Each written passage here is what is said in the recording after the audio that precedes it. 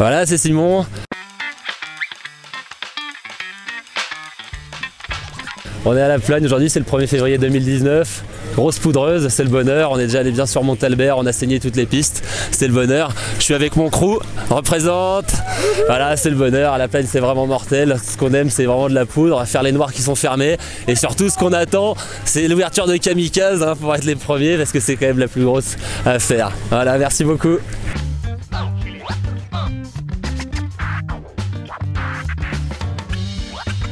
Like